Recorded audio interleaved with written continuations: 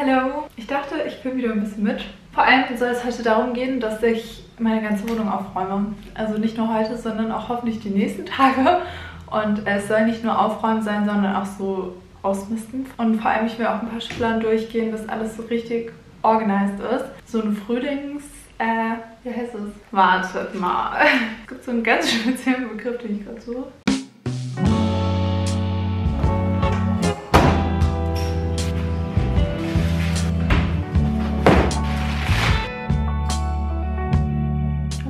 Bin ein bisschen stolz. Okay, jetzt mache ich hiermit weiter.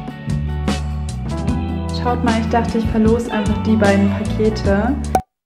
Ich will einfach, dass es hier mal richtig organisiert ist überall. Und eigentlich hätte ich jetzt die Tage noch ein bisschen Zeit.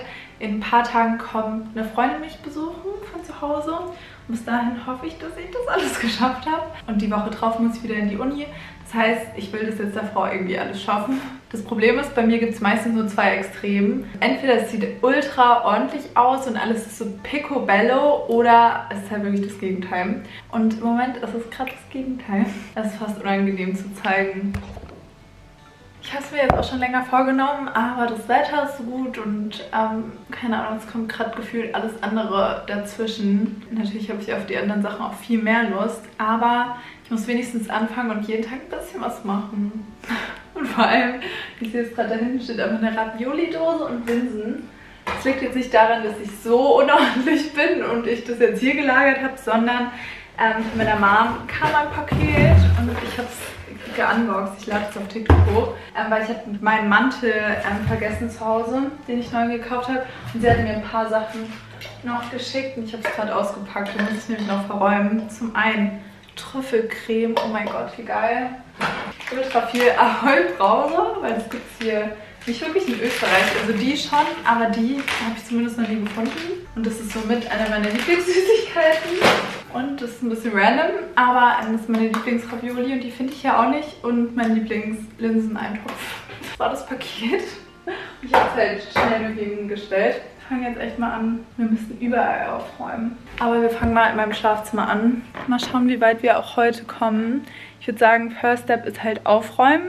Second Step ist natürlich dann ausmisten. Das Ding ist, es ist hier halt auch unordentlich, weil ich meinen Koffer noch nicht ausgepackt habe. Und ich habe ein paar Sachen gedreht und ein paar Klamotten halt rausgezogen. Hier habe ich zum Beispiel eben gerade Essen TikTok aufgenommen. Und ich war vor ein paar Tagen auch im Event und habe hier nach Klamotten gesucht, die ich anziehe. Das heißt, ich kann die alle auch wieder in den Schrank räumen, weil ich die noch nicht anhatte. Ich habe die halt dann doch nicht angezogen. Aber war unter Zeitdruck. Ja, muss unbedingt dabei Musik hören oder so. Oder ich glaube Podcast, wie immer. Sonst ist mir zu langweilig. Ich glaube, ich höre eine alte Folge Kaulitz Hills. Let the Zeitraffer beginnen.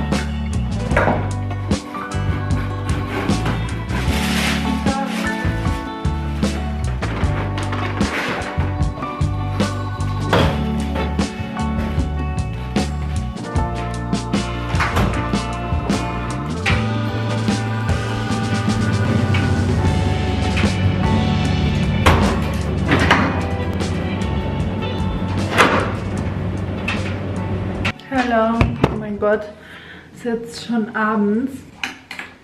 Ähm, ich habe sogar noch gekocht. Ich habe einfach Spargel gemacht mit Kartoffeln und Soße Hollandaise. Bin irgendwie ein bisschen stolz drauf, ähm, weil ich versuche schon, wenn wir ein bisschen mehr Zeit haben, dass ich dann halt nichts bestelle, sondern auch einfach mal andere Gerichte mache, außer jetzt Nudeln mit Pesto oder so. Ist jetzt kurz nach 8 und ähm, ich wollte mich schon mal abschminken. Ich mache das eigentlich ganz gern, bevor ich irgendwie chille oder so. Weil sonst tendiere ich auch dazu, mich nur schnell abzuschminken. Und so kann ich ein bisschen Skincare wenigstens machen. Und oh mein Gott, ich wollte mal eine neue Creme ausprobieren. Schaut mal.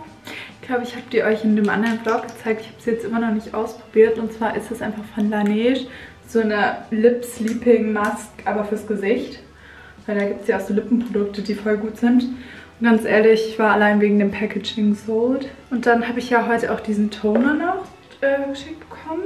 Den kann man morgens und abends benutzen, steht da drauf. Ich bin immer nur verwirrt, in welcher Reihenfolge man das alles benutzt, um echt zu sein. Wenn das halt nicht eine Serie ist, sondern verschiedene Produkte. Weil ich habe im Moment auch ein bisschen Probleme hier mit meiner Stirn einfach keine Pickel, aber so... Und doch auch Pickel, aber irgendwie so unterirdisch. Ach, keine Ahnung. Ich versuche das gerade so ein bisschen wegzubekommen damit. Ich habe nämlich einfach einen TikTok gesehen und habe es mir dann bestellt. Ähm, das ist von The Ordinary sowas. Und ich berichte euch mal, ob das klappt. Ich schminke mich jetzt erstmal ab. Da benutze ich jetzt nichts Besonderes. Einfach das. Wunderschön. Sexy. Wenn ich richtig faul bin, mache ich halt nur das. Ich habe heute eigentlich dann schon fast den ganzen Tag nur aufgeräumt Wäsche gemacht. Ich hatte wirklich hier zwei Berge Wäsche. Und ähm, hier hinten hängen meine Satankissen. Die habe ich auch bekommen. Da freue ich mich. Weil die sind ja auch besser für die Haare. Und sonst muss ich dann gleich noch das Bett beziehen und so. Aber es ist zumindest relativ ordentlich. Es fehlt halt noch das Wohnzimmer so ganz bisschen, der Flur und vor allem mein Büro. Aber das machen wir dann morgen. Es dauert dann irgendwie immer doch länger als gedacht, vor allem weil ich ja dann noch gekocht habe und so. It is what it is. Dann nehmen wir jetzt mal das Peeling. Mache ich einfach so ein bisschen was drauf auf diesen Brush. Habe ich mir auch geholt, das ist nur von Ebelin einfach.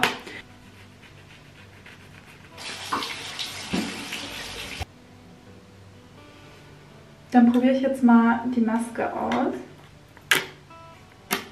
Ich hoffe, die ist halt so richtig reichhaltig. Hm, die fühlt sich aber gut an. Ja, Toner benutze ich jetzt, denke ich, nicht mehr. Ich glaube, das mache ich aber jetzt trotzdem noch danach drauf. Das benutze ich so ein- bis zweimal die Woche nur, weil das relativ aggressiv ist. Geht da einfach so drüber. Und ich benutze für meine Wimpern noch Revitalash. Ich versuche immer voll viele verschiedene aus, weil das ist, glaube ich, mit Hormonen. Dann für die Lippen noch was. Und Zähne putzen und so mache ich dann später. Das war's. Gute Nacht. Morgen, ähm, ich mache mich gerade fertig, weil ich gehe einfach Paddle spielen.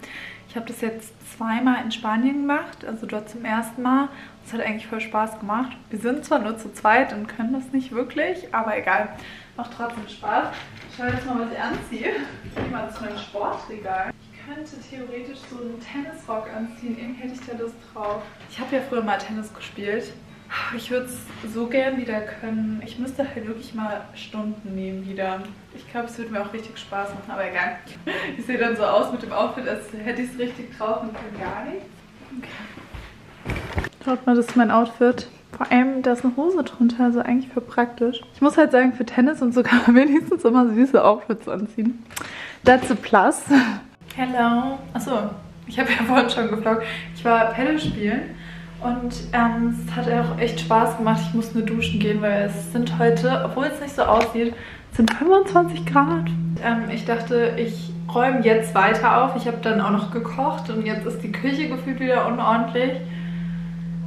It's a never ending story. Ohne Spaß jetzt. Auch ähm, die ganze Wäsche ist jetzt fertig, aber jetzt liegt sie da, fertig. Und ich muss hier auch wieder meinen Kleiderschrank aufräumen. Gefühlt räume ich die ganze Zeit auf und komme nicht voran. Ähm, aber ich mache jetzt nochmal die Küche. Ich glaube, das nehme ich jetzt nicht nochmal auf, oder? Ähm, und dann geht es mal endlich hier voran. Ja, schaut mal. Das Ding ist, wenn ich halt koche, will ich halt dann direkt essen und nicht erst alles aufräumen und dann essen, weil sonst ist ja auch kalt. Deswegen, great. Okay, wir kommen mal hier zu meinem Schminktisch. Das ist halt wirklich immer ein Chaos. Und hier stehen so Kooperationssachen und so. Ähm, ich wollte es immer drüben ins andere Zimmer stellen. Das kann ich jetzt auch machen. Deswegen kann ich das dann auch alles sortieren und so. Weil ähm, das ist obviously ein Mess. Es sieht auch so aus, weil ich ein paar Sachen mit nach Hause genommen habe, ähm, jetzt über die Ferien und dort verschenkt habe. Und ich habe hier gerade auch sowas zusammengesucht und das so schön eingepackt. Ähm, das ist nämlich für Caro, die freut sich da bestimmt richtig drüber. Sie hatte nämlich Geburtstag und ich dachte, sie wird sich bestimmt noch über ein paar Kleinigkeiten freuen. Ich würde sagen, wir fangen mal hiermit an. Vielleicht direkt mal mit der Schublade, weil hier sind so viele Schreibwarensachen äh, Karten. Das ist der Schminkspiegel für meine Mom, wenn sie hier ist. Den benutzt sie immer. Ich muss irgendwie mal schauen, wie ich das am besten sortieren kann. Weil meine ganzen Notizbücher und so passen alles gar nicht mehr da rein. Und ob ich die auch behalten möchte, weil schaut mal, 2021, das ähm, ist mein Kalender gewesen. Ich war zumindest mal sehr organisiert und so liebe ich das. Aber ich weiß gar nicht, soll ich das aufheben oder ist das unnötig? Genauso in dem. Da habe ich nämlich auch alles geplant. Das ist ein neues Notizbuch, das mag ich eh aufheben, das ist auch neu. Da sind Bilder, die ich mal ausgedruckt habe. Ich muss das jetzt irgendwie alles mal durchgehen, damit ich hier auch genug Platz habe für all mein Zeug.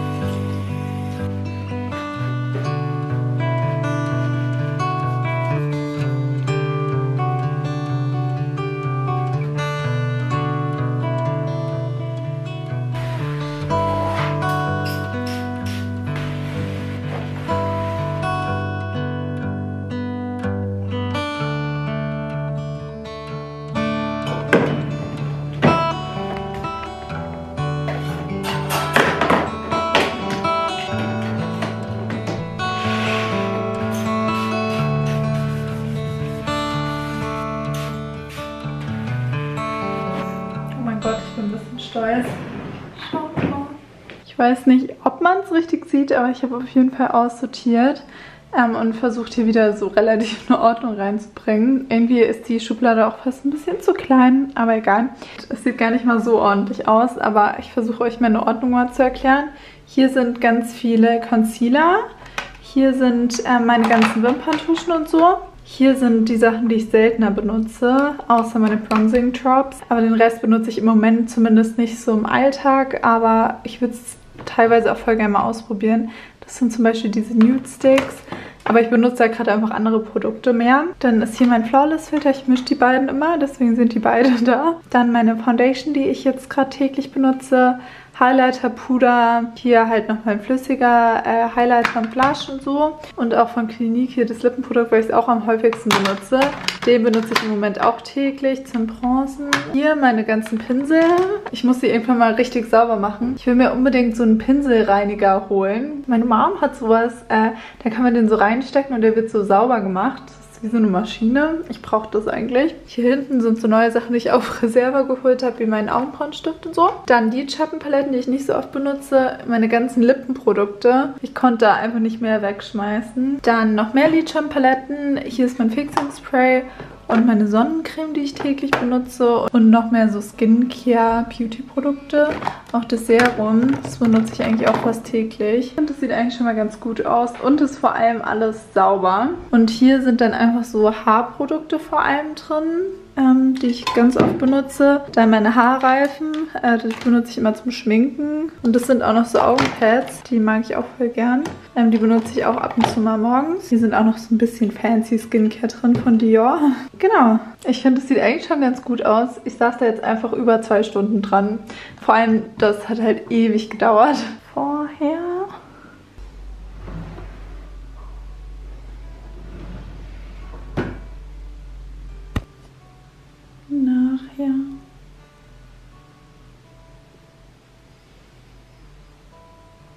Schaut mal, die Schublade ist auch viel organisierter. Die Notizbücher kommen nämlich woanders hin. Jetzt habe ich das so. Und jetzt ist es zumindest irgendwie auch ordentlich. Und ich habe nur noch Stifte, die funktionieren. Ich bin einfach jeden einzelnen Stift durchgegangen. Hier ist mittlerweile dunkel draußen. Mal schauen, wie viel ich jetzt noch machen werde. Ähm, aber ich fange mal hiermit jetzt an. Und zwar ist es meine Kommode. Das hier machen wir wann anders. Äh, das ist das ganze Technikzeug und so. Hier sind noch ein paar Ordner, ein paar Karteikarten zum Lernen und so weiter. Ich muss mal schauen, was ich davon wirklich brauche. Da ist zum Beispiel auch eine Kiste mit Produkten drin. Ähm, ich muss das alles mal durchgehen. Und zum Beispiel auch hier zum Fasching hatte ich einmal überlegt. Perfekt. ähm, da wollte ich als Braut gehen und dann sind wir doch nicht zur Party gegangen. Deswegen habe ich das noch hier. Deswegen auch diese Perlenkette. Aber sowas hebt man ja auch auf. Ich kann ja nächstes Jahr als Braut gehen, aber wohin kommt es in der Zeit so? Das nervt mich irgendwie ein bisschen. Hier sind sehr random Sachen drin, zum Beispiel auch die kann ich auch mal rausstellen. Brauche ich für ein Phantom bald. Äh, das sind Handschuhe, rosa, sehr wichtig. Hier sind halt noch Bücher und so und da will ich auch die Notizbücher hin tun. Ich muss das jetzt nur alles mal durchschauen. Also vorher, let's go. Die Bücher habe ich übrigens zu Weihnachten bekommen und wahrscheinlich habe ich erst im Sommer Zeit, die zu lesen. Irgendwie mache ich immer alles andere. Eigentlich sollte ich mir mal mehr Zeit fürs Lesen nehmen. Da bin ich voll gespannt.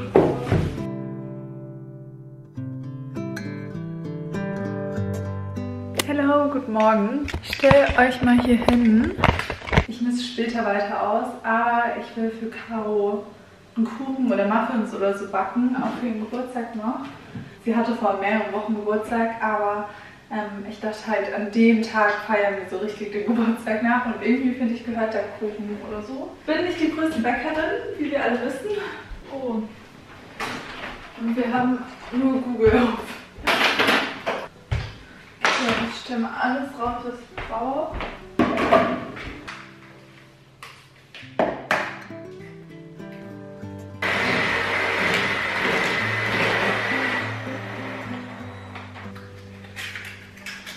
Ich improvisiere jetzt und mache da jetzt einfach noch so Schokodrops rein.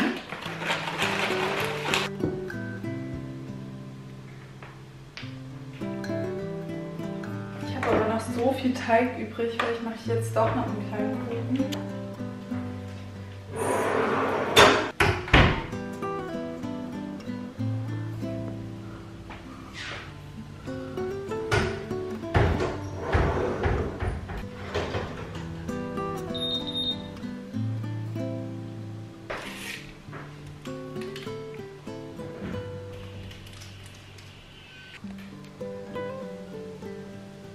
War ja klar, dass ich mich verkleckere. Ich habe jetzt überall Flecken hier und hier.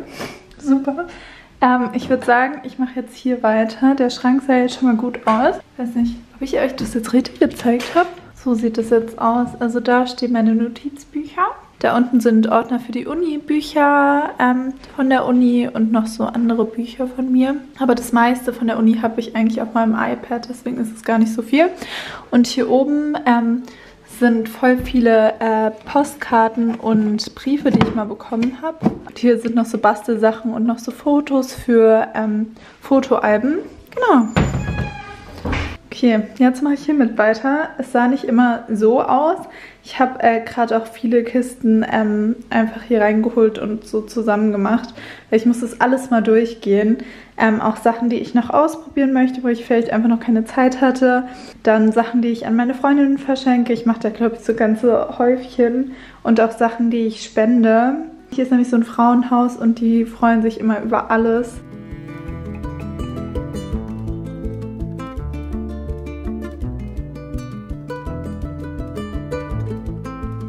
Schaut mal, wie süß das aussieht. Ich habe Caro noch eine Karte geschrieben und ich versuche das jetzt irgendwie einzupacken, dass ich das mitnehmen kann und da nichts passiert. Ich habe leider nicht so eine Kuchenform. Äh, deswegen mache ich das jetzt mit äh, Frischhaltefolie. Ich nehme jetzt noch ein paar Kerzen mit. Ich muss jetzt eigentlich auch gleich los. Die Karte. Ähm, ich muss gerade kurz noch Make-up-Sachen einpacken, weil eigentlich das richtige Geschenk war, dass ich mir eine Massage geschenkt habe, Caro, zum Geburtstag. Und das machen wir heute. Und dann gehen wir auch essen und so.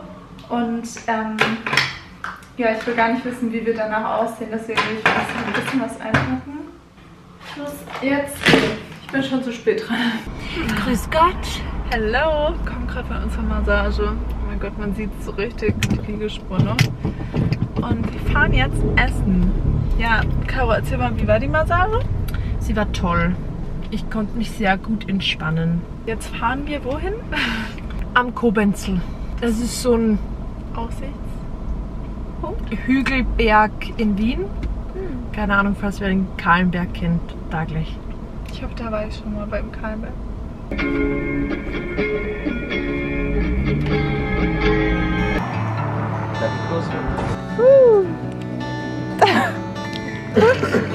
Alles Gute nachträglich.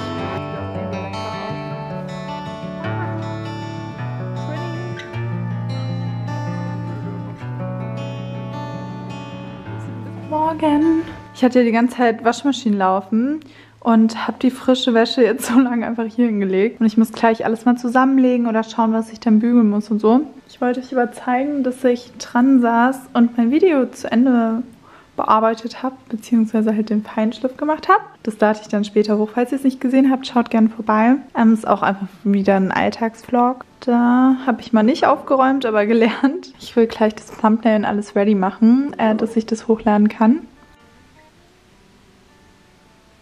Boah, ich habe heute so Krämpfe und so Unterleibsschmerzen. Oh, habe heute meine Tage bekommen. Ah. Oh, ich hasse es. Let's get to work. Aber ohne Spaß ist es irgendwie so eine never-ending Story. Ähm, ich habe gefühlt ich schon wieder Wäsche, die ich waschen könnte. Und schaut mal, was ich hier alles habe. Klar, das war jetzt auch, weil ich weg war und ich meinen Koffer ausräumen musste und so.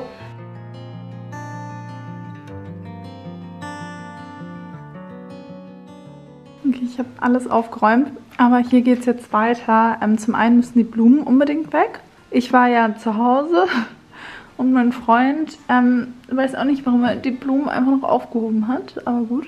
Ich kam nämlich jetzt auch noch nicht dazu, aber äh, die müssen auf jeden Fall entsorgt werden. Und was ich schon die ganze Zeit machen wollte, meine Mom hat ab und zu mal meinen Tisch eingeölt, was dem halt voll gut getan hat. Aber ganz weird, da sind teilweise so weiße Placken drauf. Seht ihr das? Ähm, ich habe wirklich keine Ahnung, woher das kommt. Ähm, aber ich versuche es jetzt hiermit zu regeln. Das ist extra so eine intensive Pflege fürs Holz. Und ich versuche das dann mal so aufzutragen und ähm, dann am Ende nochmal den ganzen Tisch einzuölen. Hoffentlich hilft es was. Zu sowas kommt man irgendwie voll selten. Aber ich will es schon die ganze Zeit machen, deswegen machen wir das jetzt.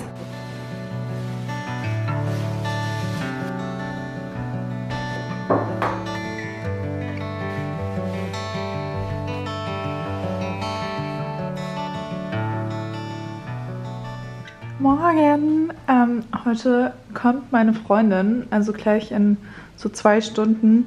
Ich wollte bis dahin noch drüben fertig die Boxen aufräumen, die Kooperationssachen. Aber schaut mal, sonst ist es hier überall richtig schön. Ich habe nochmal das Bett neu bezogen. Schaut mal, ich habe übrigens jetzt so Seidenkisten, einfach fürs Haar. Die habe ich zugeschickt bekommen. Sonst sieht sie halt richtig ordentlich aus. Ich muss sagen, der Tisch sieht wieder so viel schöner aus, eingeölt. Leider sind immer noch so kleine Flecken hier drauf. Falls ihr eine Ahnung habt, wie das weggeht und was ich da machen kann, sagt Bescheid. Aber ich glaube, der hat es mir richtig gedankt, dass ich den jetzt mal wieder geölt habe. Der sieht voll gesund aus oder keine Ahnung. sieht auf jeden Fall nicht mehr so weiß. Schaut mal, der Vlog lädt schon hoch für Marlene, meine Cutterin. Weil es einfach so viel Material ist wegen den ganzen Timelapse und so, dass es ewig dauert. Deswegen dachte ich, ich fange schon mal ein bisschen an. Ich habe mir übrigens einen Bananensmoothie gemacht. Was bequemes, mal wieder angezogen. Anders kann ich nicht aufräumen und hier geht es jetzt weiter. Aber es ist gar nicht mehr so viel. Ich bin ganz happy. Okay, ich muss noch schauen, was meine Freundin mir schreibt, weil die kommt so in circa zwei Stunden. Dann kann ich die Zeit äh, sinnvoll nutzen.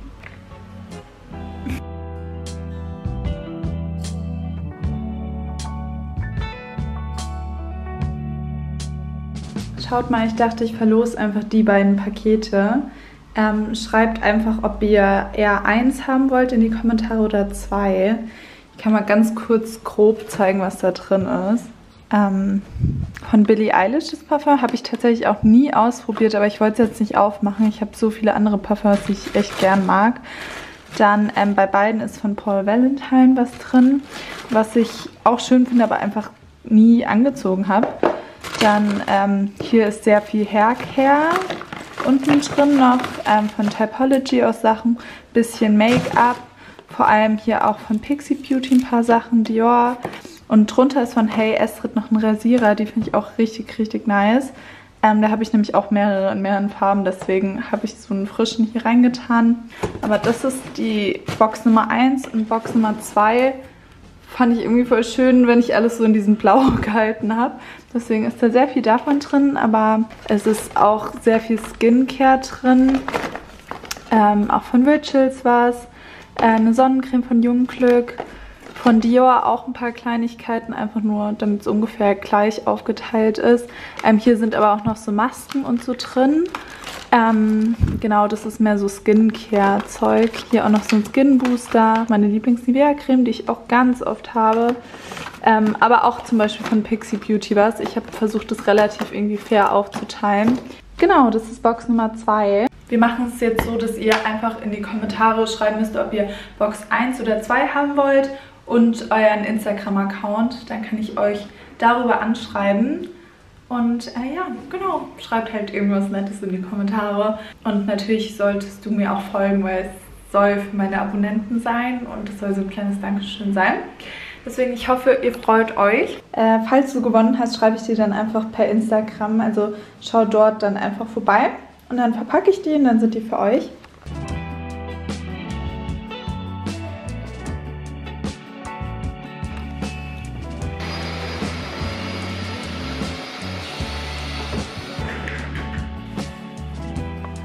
Schaut mal, wie ordentlich das Zimmer ist. Ich sehe auf jeden Fall Boden.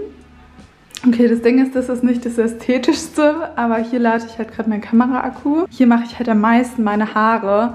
Deswegen macht es gar keinen Sinn, die Sachen wegzuräumen, weil ich die eigentlich fast täglich brauche. Aber es sieht so aus. Wow.